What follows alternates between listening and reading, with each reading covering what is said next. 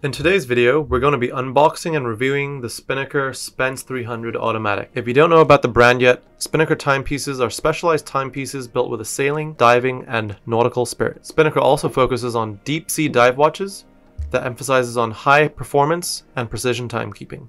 The Spence 300 is a remarkable timepiece, not in heft, not in size, but in the sheer precision of its engineering. Carefully considered design and hand-assembled workmanship result in a timepiece that is under 11 millimeters in thickness, yet capable of enduring over 300 meters of water resistance.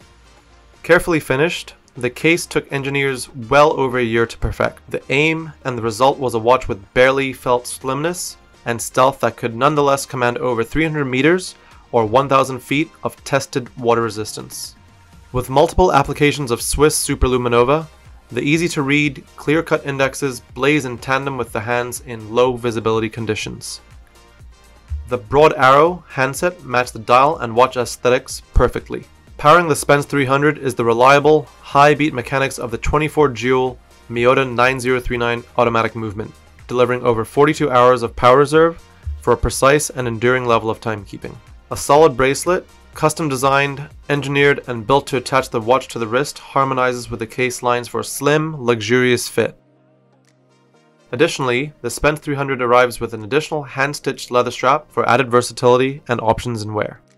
This watch comes in five colorways.